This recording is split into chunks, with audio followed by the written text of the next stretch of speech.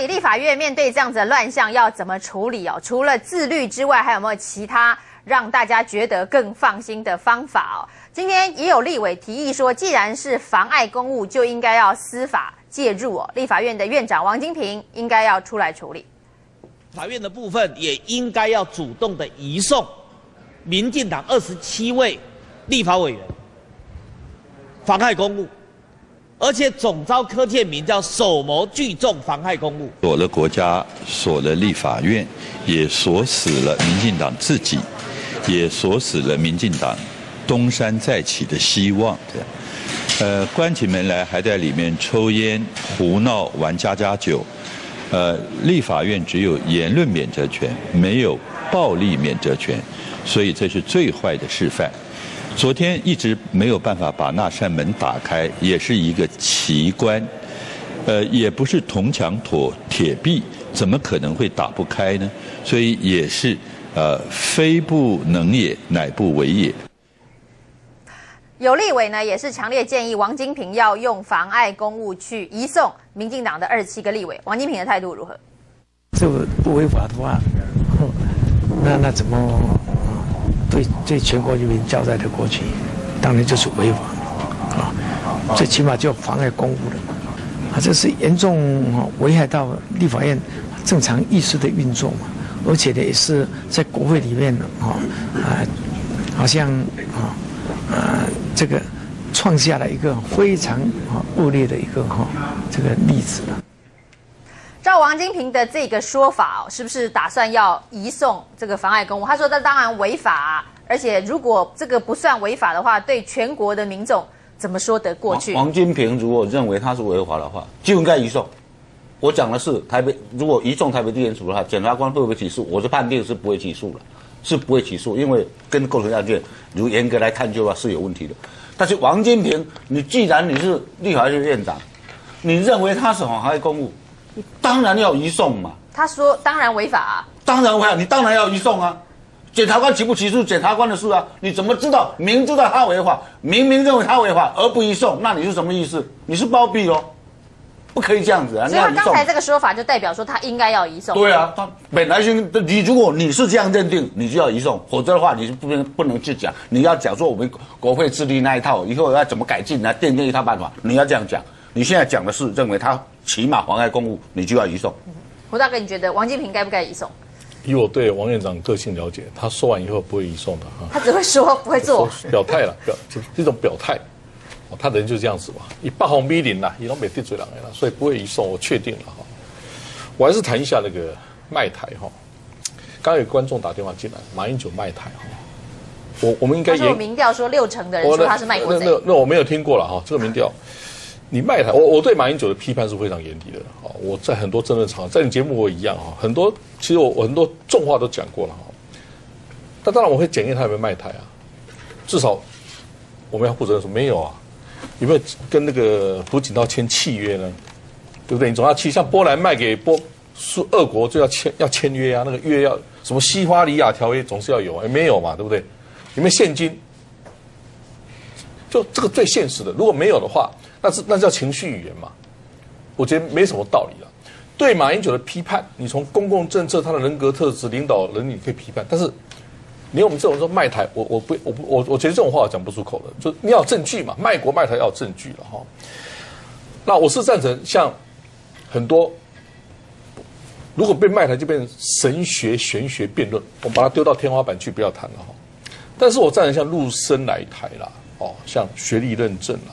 包括极优化，我是很赞成公共辩论。你国会本来有个空间嘛，国会可以你主动找很多公听会来来做嘛。其实国民党也可以主动做，大家来谈嘛。那么多社运团体很多，对不对？你国会本来一个平台，结果你大家变成无场的，很不被穷州，我觉得人民会自己打分数了。表示呢，我们对民进党的惩罚不够嘛。公元两千年，国民党的确黑金政治啊。我记得我那时社论还写作标题标题叫做“国民党一根长子弹到底”啊，我记得印象很深刻啊。黑金政治一根长子弹到底，最重的惩罚就是让国民党下台嘛，应该的嘛。好，你国民党现在上来了，怎么样？国民党回来是侥幸，是因为你民党在执政没有什么成果，所以人民会在看哦，一年以来，民进党的表现，我这样断定了，对民进党惩罚不够，再重惩，有什么不好了？所以，先不要讲两年后大选了，包括县市长选举，现在的民进党立院党团的做法，是在拖拖拖累县市选举啊！我觉得民进党党中央或者你文宣部门，你都要好好思考，这样下去，负面的做法让人民观瞻负面的做法，至少我们掌握，至少我们知道，好吧？蓝绿算你各各百分之二十五基本盘嘛，这五十这五十在想什么，我们知道很清楚嘛。这五十就要看你，你怎么这样表现呢？立院党团这样表现呢？所以我希望民进党还是回到理性了，人不要在情绪说。生气时候做判断，然后自以为一是对，这样对下去，事实上是一直往历史山洞里面钻而已。主持人，这个有没有符合妨碍公务的构成要件？当时检察官的认定啊。那基本上地检署他们有一个招数哈，叫做简报分案。简报，所以地检署看到新闻报道就可以分案。所以地检署今天报纸都没有这条新闻，是这样子吗？是检察官啊。而且立法院院长王金平都说是违法行为了。不，这是这两个方向，一个是院哈大院这边哈函送给北检。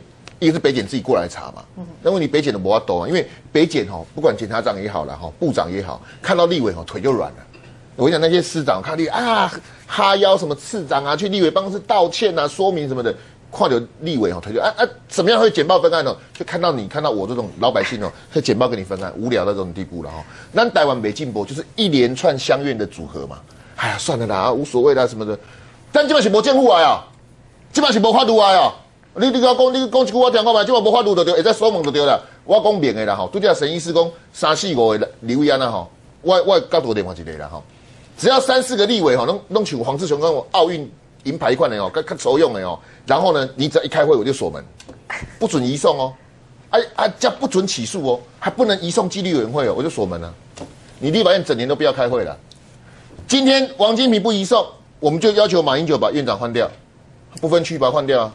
开除党籍，把它换掉。吴伯雄才能做。或者你你不你不王金平你不动作你就换掉，滚蛋了。引咎辞职。你你看嘛，连战、宋楚瑜、吴伯雄、江炳坤有一个共同的朋友是谁？像你敢骂一个 U 瓦卡的公扁的话，就是王金平的 U 瓦卡嘛。我跟大家讲哈，立委没什么了不起，我不是针对沈医师的哈。立委是拽什么？立委不干也是去拾荒啊？立委有什么了不起的？立委有什么了不起？你不是再度的强调王雪峰不是拾荒？我没有讲的，我我没有讲王雪峰，我说立立委是拽什么啦？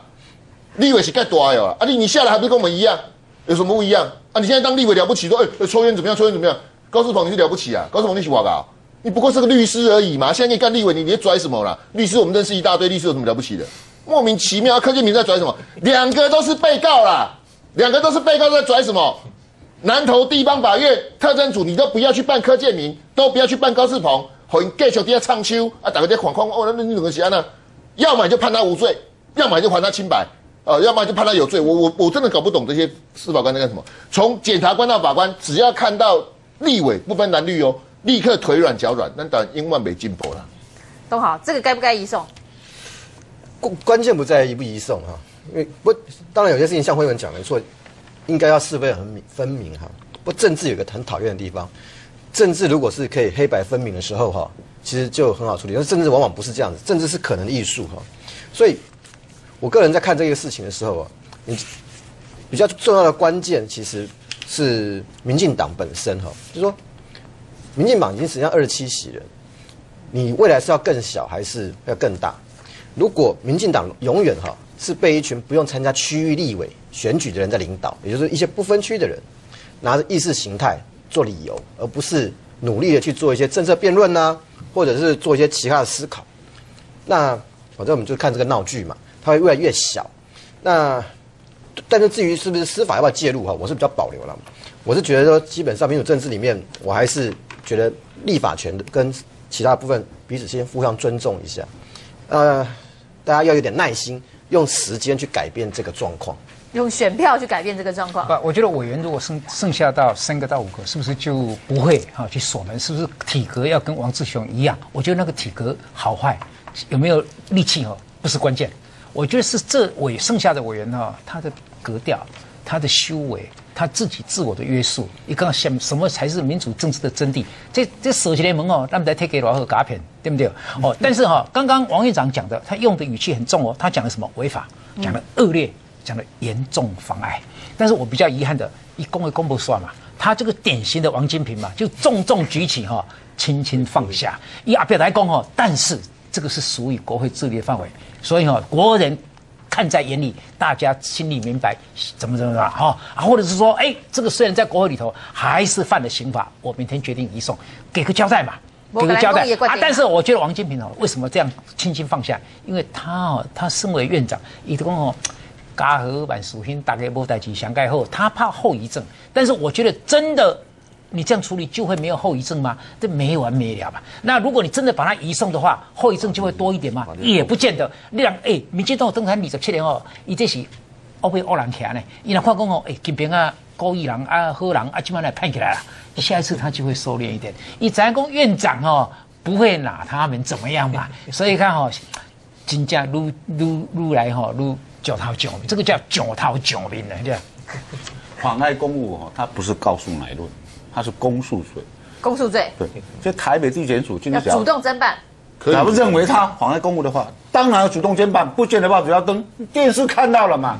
假如说他就应该主动侦办，那他现国在现在没有主动主动侦办的原因就是他认为这个还没有构成妨碍公务啊，认为你这个属于国会自治事项，所以他现在不去介入。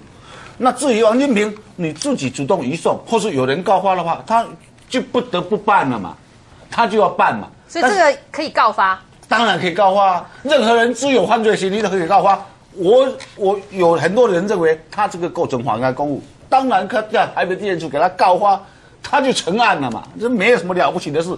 要让人家成为被告是很简单的，只要去告他，他就是就是被告了，没什么了不起。问题是侦办的结果要不要起诉，问题在这里嘛。那当然，这个当然是国会自主事项，你国会当然要有办法处理。国因为在国外、哦。行政、立法、司法，它是每一权都各是互相都要尊重的。第一个要尊重，第二大大家互相平衡的。